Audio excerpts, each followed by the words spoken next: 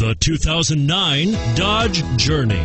Dodge Journey combines the practicality of an SUV with the comfort of a car, all while boasting a style all its own.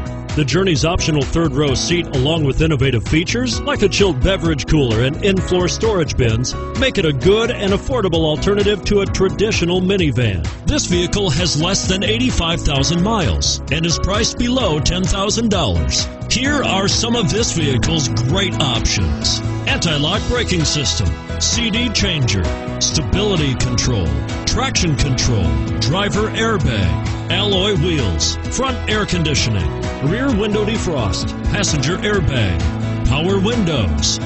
Is love at first sight really possible? Let us know when you stop in.